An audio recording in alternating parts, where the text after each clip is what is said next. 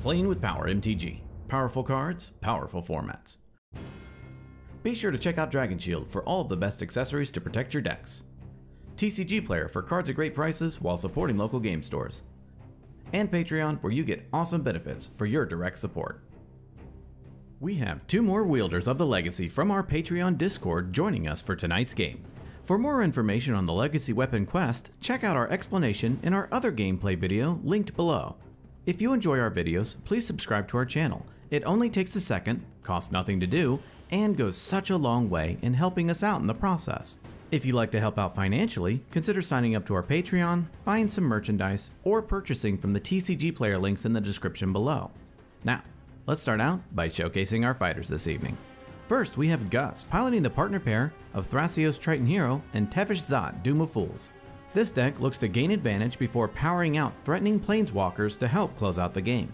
Gus's opening hand contains a Mystic Remora, Skull Clamp, Mana Vault, Mox Diamond, Ancient Tomb, Wooded Foothills, and his London Mulligan is a Chrome Mox. Next, we have Ryan piloting Godo Bandit Warlord. This deck seeks to create a ton of mana to power out its commander and go infinite with Helm of the Host. Ryan's opening hand contains a Lotus Petal, Wheel of Misfortune, Desperate Ritual, Pyroblast, Snow Covered Mountain, and his London Mulligans are a Cursed Mirror and a Goblin Matron. After that, we have Alex piloting the partner pair of Tymna the Weaver and Kamahl, Heart of Krosa. This deck seeks to slow down the board through stacks and hate bears and closes out the game by casting its commander, pumping his team, and swinging. Alex's opening hand contains a Savannah, Serra Ascendant, Elvish Spirit Guide, Avacyn's Pilgrim, Marsh Flats, Worldly Tutor, and a Gideon of the Trials. Finally, we have Cal piloting the partner pair of Malcolm, Keen Eyed Navigator, and Tana the Bloodsower. This deck seeks to cast Malcolm and combo off with Glint-Horn Buccaneer. Cal's opening hand contains a Breeding Pool, Sylvan Library, Time Twister, Abrade, Bloodstained Mire, Steam Vents, and a Dockside Extortionist. Without further ado, let's begin this baffling barrage of babbling babes. Gus won the juggling competition and gets to start us off. Gus draws a card for turn and plays an Ancient Tomb. He casts a Mox Diamond, discarding Wooded Foothills. He taps his Ancient Tomb to cast Mana Vault. He casts a turn 1 Tevesh Szat. He activates Tevesh's first ability, creating two Thralls. After his blazing turn 1, Gus passes. Ryan draws a card for turn and plays a Snow Covered Mountain. He casts a Lotus Petal. He cracks his petal to cast Desperate Ritual. He adds 3 red and casts Wheel of Misfortune. It resolves, and each player chooses a number. They each reveal, and Ryan reveals a 7, and each other player reveals a 0. Ryan loses 7, discards his hand, and draws 7 cards. Ryan casts a Mana Crypt. Ryan ends his turn. Alex draws and plays a Savannah. He exiles Elvish Spirit Guide from his hand for a green. He casts Serra Ascendant. He casts Avacyn's Pilgrim. Alex ends his turn. Cal draws and plays a Bloodstained Mire. He passes.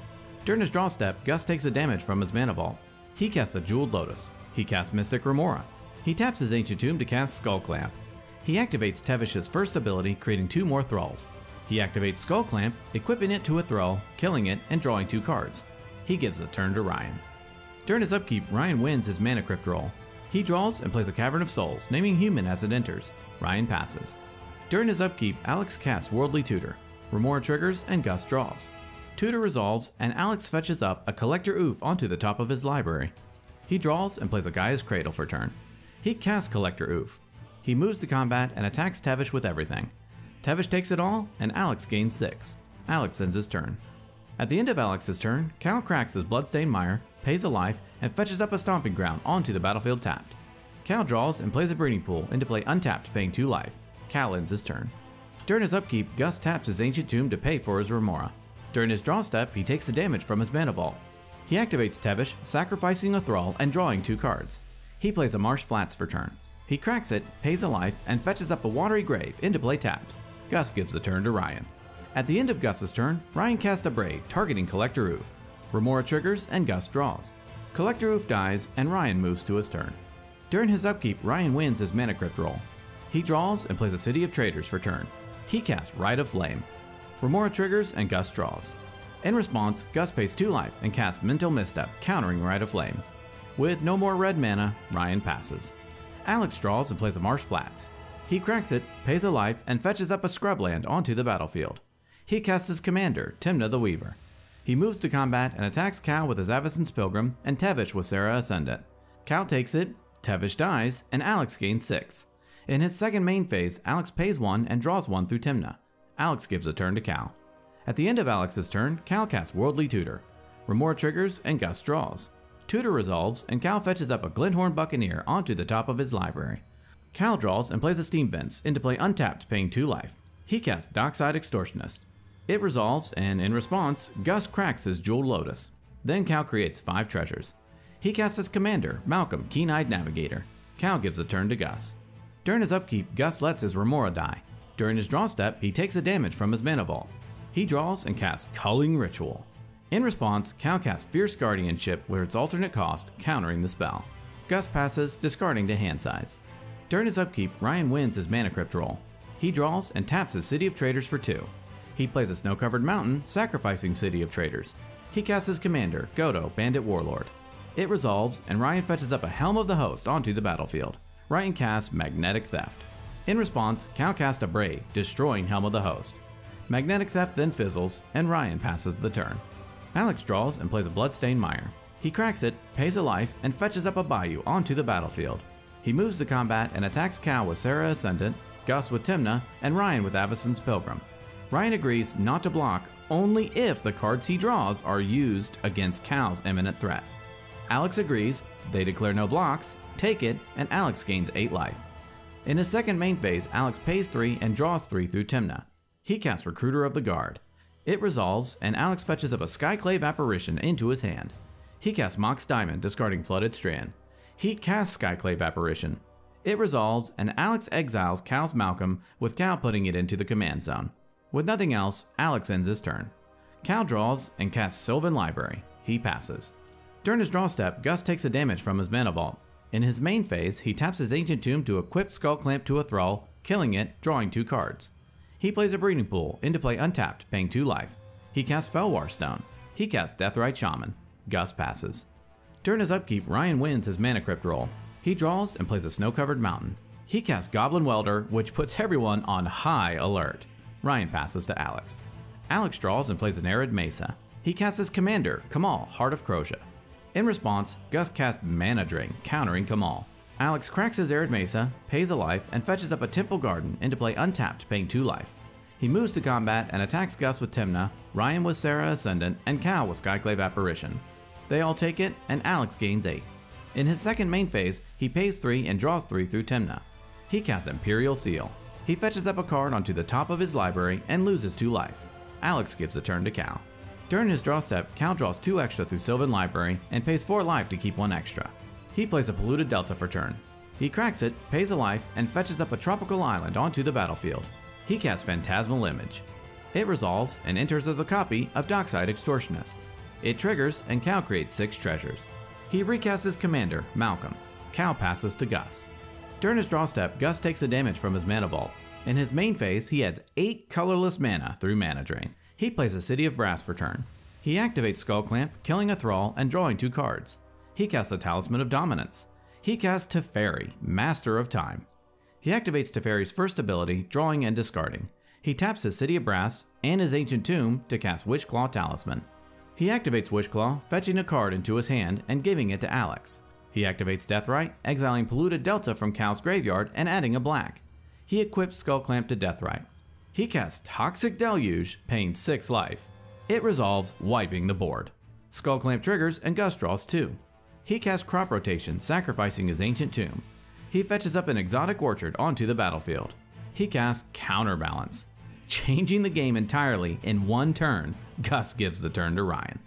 During his upkeep, Ryan loses his Mana Crypt roll and takes 3 damage. He draws and passes. At the end of Ryan's turn, Gus activates Teferi, drawing and discarding. Alex draws and plays a brush land for turn. He casts Yasharn, Implacable Earth. Counterbalance triggers, and Gus reveals an Oko, Thief of Crowns. Yasharn resolves, and Alex fetches up a snow covered forest and snow covered plains into his hand. He casts Bloom Tender. Counterbalance triggers, and in response, Gus activates Teferi, drawing and discarding.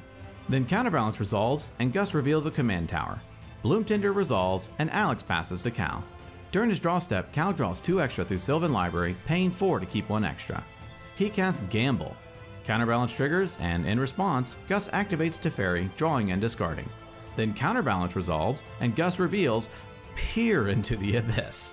Then Cal fetches up a card into his hand and discards a card at random, which is a Glint Horn Buccaneer, which feels extra bad. He casts Imperial Recruiter. It resolves, and Cal fetches up a Dualcaster Mage into his hand. Cal passes. During his draw step, Gus takes a damage from his mana vault. He plays a command tower for turn. He casts his commander, Thrasios, Triton Hero.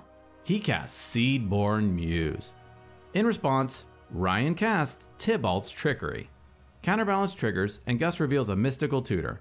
Then Gus responds by activating Teferi, drawing and discarding. Seedborn is countered, Gus mills one, and then reveals until he hits a dark ritual. He casts it, adding 3 black. He equips Skull Clamp to Thrasios and gives the turn to Ryan. During his upkeep, Ryan loses his mana crypt roll and takes 3 damage. He draws, takes no actions, and passes. At the end of Ryan's turn, Gus activates Teferi, drawing and discarding. Alex draws and plays a snow-covered plains for turn. He recasts his commander, Kamahl. In response, Gus taps his City of Brass to cast Mystical Tutor. He fetches up a Force of Will onto the top of his library. He activates Teferi, drawing and discarding. He goes to cast Force of Will, but Alex reminds him of the Yasharn on the battlefield, which prevents him from paying life to cast it. Bummed out, Kamahl resolves. He moves to combat, Kamahl triggers, and Alex creatures get plus 3 plus 3 and trample.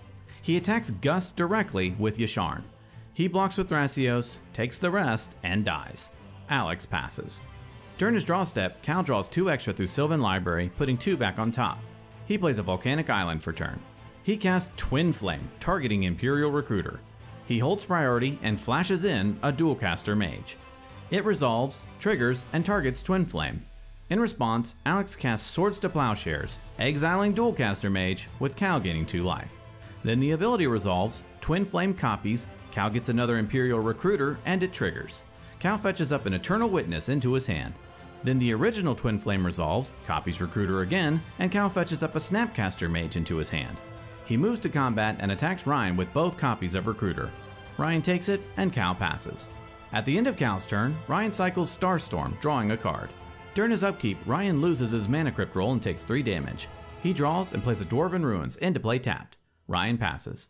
Alex draws and plays a snow covered forest. He recasts his commander, Tymna. He moves to combat and Kamahl triggers. His team gets plus 3, plus 3, and trample. He attacks Ryan with everything. Ryan takes it all and dies. In his second main phase, Alex pays 1 life and draws 1 card through Tymna. He casts an Arbor Elf. He casts a Priest of Titania. He casts Gideon of the Trials. He activates Gideon's second ability, creating an emblem. Alex passes to Cal. During his draw step, Cal draws 2 extra through Sylvan Library. He pays 8 life to keep them both. He plays the City of Brass for turn. He casts Time Twister. Both players shuffle their hands and graveyards into their libraries and draw 7. Unfortunately, Cal couldn't find what he needed and passes to Alex. Alex draws and activates Kamahl, animating 3 lands. He moves to combat and Kamahl triggers, giving his team plus 3 plus 3 and trample. He attacks Cal with everything, killing him and winning the game.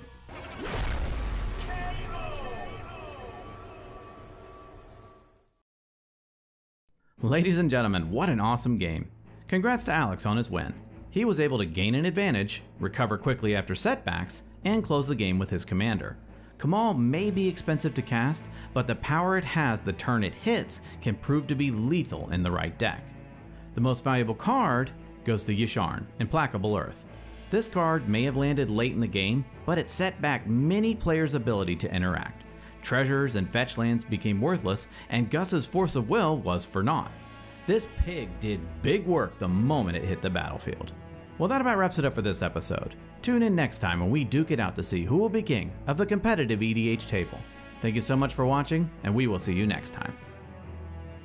Alright, Patreon shoutout time. I'd like to give a shout out to Cameron James, Ricky Undercuff Fleur, Justice for Dak, Gabriel Adams, Thomas Thurber, uh, Katarina, Katrina, uh, Katarina, Lo- Noah Queerswell, Nod Noodle, Nicholas Tatum, Anton Oberg, Tom Spackman, Ryan Wright, Otto Von Trapp, Ivan, Connor Holtz, Nathan Smith, Willow Lysander, Pyro, Dark, Philip Hickey, Jacob Cromer, Brad Tobin, Matt Wingrove, Delph Driz, Chad Hendricks, Dante, Christian L. Sutphin, Ryan Brower, Rune, Rikeko, Michael Hallett, Paul M. Toll, Quick Draw, Zods, Covey Smith, James Cody Halley, Spielrahu, CZ, Taylor Coron, Darius Mitchell, King Sharks, Liam, Caleb Pretty, Tauntaun 101, Jacob Simpson, and Thomas Bowers. Thank you all very much.